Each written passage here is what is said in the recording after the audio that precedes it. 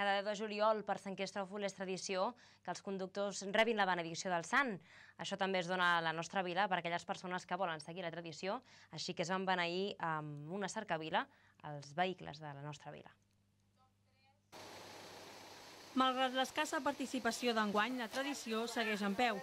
A la una del migdia, alguns cotxes particulars s'apropaven a la plaça Antonita Fontova per iniciar allà la cercavila del poble. Pues hem passat per aquí davant del casino mm, antigament dels senyors, hem anat directe amunt, cap amunt, eh, l'avinguda aquella que hi ha a la plaça que està tallada, i hem baixat per el carrer, quin era? El Vell Solà, no l'altre, directament avall, i després hem vingut al doctor Klein, cap aquí i tornant la volta cap aquí. Perquè és un calvari, ara voltar pel poble amb el cotxe, millor anar en bicicleta, eh?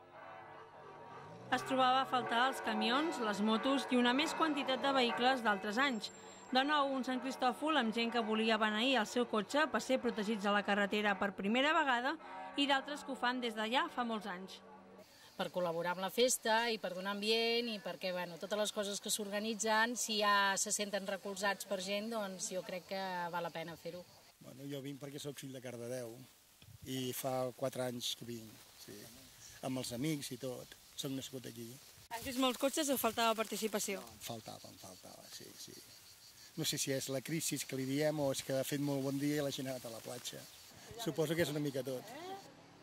L'Associació de Veïns del Centre, els organitzadors d'aquesta concentració de cotxes, van ser els que després van regalar un refresc a tots els participants i van oferir un pica-pica per donar pas a la rossada popular de la Diada.